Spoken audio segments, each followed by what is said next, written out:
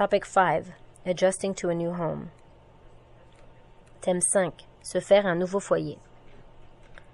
L'adaptation. Venir aux États-Unis est un moment palpitant, plein de nombreuses opportunités qui s'ouvrent à vous. C'est aussi une époque remplie de défis pour vous et votre famille, car vous devez apprendre à vivre et travailler au sein d'un nouveau pays et d'une nouvelle culture. Qu'est-ce que l'adaptation? L'adaptation est le processus d'apprendre à vivre et à travailler dans un nouveau pays. Cela consiste à faire des changements et à apprendre des choses nouvelles.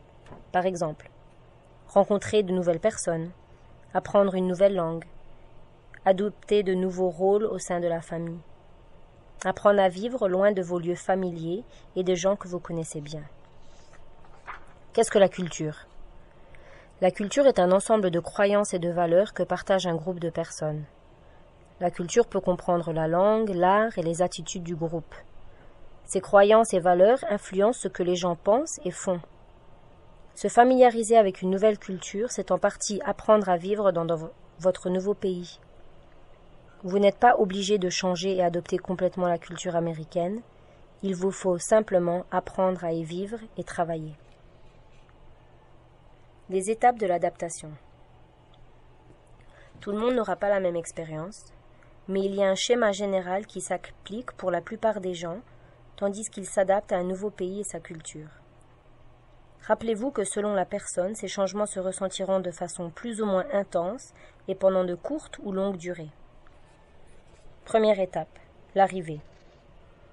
Quand vous descendez de l'avion et pendant les semaines qui suivent, tout paraît merveilleux et palpitant. Les gens paraissent gentils, les opportunités sont sans fin, et vous sentez que tous vos problèmes sont terminés. Vous pouvez vous sentir heureux, en sûreté et apaisé. Deuxième étape. La réalité. Après quelques semaines aux États-Unis, vos sentiments peuvent commencer à changer au fur et à mesure que la réalité s'empare de vous.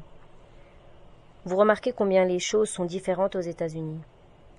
Il se peut que vous désiriez rentrer chez vous, Peut-être que vous ressentez que les choses sont trop dures.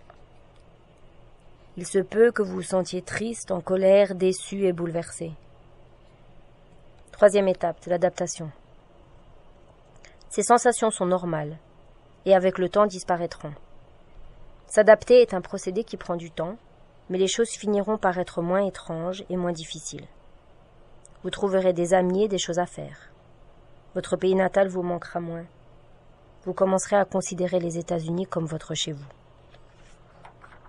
Que pouvez-vous faire? S'adapter demande des efforts importants de votre part. Cherchez le bien autour de vous. Acceptez les défis comme une opportunité pour apprendre et grandir. Acceptez qu'il faut du temps pour apprendre et s'adapter. C'est normal de se sentir bouleversé et triste parfois. Prenez le temps de faire des choses que vous appréciez. Ne vous renfermez pas chez vous. Trouvez le courage de faire des choses avec de nouvelles personnes et essayer des nouvelles choses. Sympathisez avec des Américains. Renseignez-vous au sujet de votre nouveau pays. Plus vous apprendrez, mieux vous comprendrez ce qui vous entoure. Passez du temps avec votre famille et vos amis. Partagez vos expériences avec eux. Qu'est-ce que le stress? Le stress est votre façon de réagir à des situations difficiles. Le stress est une part naturelle de la vie, mais peut aussi être nocif à votre santé.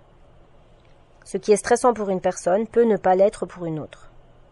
Beaucoup de choses peuvent engendrer le stress, comme la perte d'un proche, un mariage, une grossesse, un nouvel emploi, emménager dans une nouvelle maison, une maladie et des problèmes financiers. Des signes de stress. Les gens se sentent stressés de nombreuses manières, notamment mentalement, physiquement, affectivement ou en société. Quelques-uns de ces signes de stress sont maux de tête, difficulté pour dormir, consommer de l'alcool, n'avoir envie de rien faire, pleurer, se sentir énervé, éviter ses amis et sa famille. Des façons de maîtriser votre stress. Il est important de savoir ce qui vous stresse et comment le maîtriser. Pour maîtriser votre stress, vous pouvez méditer, parler à votre famille et vos amis, faire des bonnes nuits de sommeil, manger sainement, rire, vous promener, faire du sport ou demander de l'aide. Prenez le temps de vous adapter. Les États-Unis offrent plein de nouvelles opportunités. Néanmoins, dans les premiers temps, l'adaptation peut être difficile.